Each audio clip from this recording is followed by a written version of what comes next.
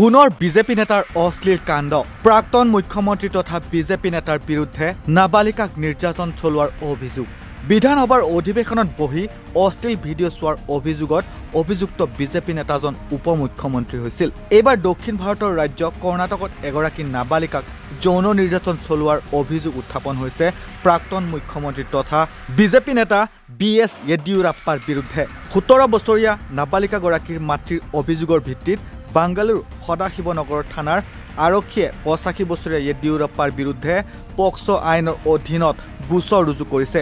আৰক্ষীৰ সূত্ৰ মতে দুই ফেব্ৰুৱাৰীত এক প্ৰবঞ্চনাৰ গোচৰত সহায় বিচাৰি নাবালিকাগৰাকী আৰু তেওঁৰ মাতৃয়ে য়েডিয়ুৰাপ্পাৰ ওচৰলৈ গৈছিল।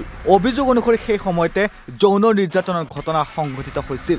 অভিযোগকাৰীজনে অভিযোগ কৰিছিল যে ঘটনাটো দুই ফেব্ৰুৱাৰীত সংঘটিত হৈছিল। যেতিয়া তাইৰ ছোৱালীয়ে তাইৰ সৈতে য়েডিয়ুৰাপ্পাক তেওঁৰ বাসগৃহত লগ কৰিবলৈ গৈছিল। আৰক্ষী সঞ্চালক প্ৰধান আলোক মোহনে বেংগালুৰু আৰক্ষীলৈ দিয়া বাৰ্তাত কৈছিল যে গোচৰটো তাৎক্ষণিকভাৱে অধিক তদন্তৰ বাবে চি আই ডিলৈ স্থানান্তৰ কৰা হৈছে। অভিযোগটো অস্বীকাৰ কৰি য়েডিয়ুৰাপ্পাই কৈছিল যে মহিলাগৰাকীয়ে তেওঁক লগ কৰিবলৈ চেষ্টা কৰি আছিল কিন্তু কেতিয়াও তেওঁৰ ঘৰত প্ৰৱেশ কৰিবলৈ অনুমতি দিয়া হোৱা নাছিল। এবাৰ যেতিয়া তাই কান্দি আছিল মই তাইক মোৰ ঘৰৰ ভিতৰলৈ মাতিছিলোঁ আৰু আৰক্ষী আয়ুক্ত বি দয়ানন্দৰ সৈতে কথা পাতিছিলোঁ।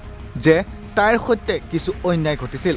অৱশ্যে যেতিয়া তেওঁ মোৰ সন্মুখত মোৰ বিৰুদ্ধে কিবা ক'বলৈ আৰম্ভ কৰিছিল মই সিদ্ধান্তত উপনীত হৈছিলোঁ যে এই মহিলাগৰাকী সঠিক নহয়। লোকসভা নিৰ্বাচনৰ পূৰ্বে কৰ্ণাটকত প্ৰত্যাৱৰ্তনৰ বাবে লিংগায়ত সম্প্ৰদায়ৰ নিৰ্বিবাদ নেতা তথা প্ৰাক্তন মুখ্যমন্ত্ৰী য়েডিয়ুৰাপ্পাৰ ওপৰতে ভৰসা কৰি আছে নৰেন্দ্ৰ মোদী অমিত শ্বাহৰ বিজেপিয়ে। ইতিমধ্যে তেওঁৰ এজন পুত্ৰ বিজয়েন্দ্ৰক দলৰ ৰাজ্যিক সভাপতিৰ দায়িত্ব দিয়া হৈছে।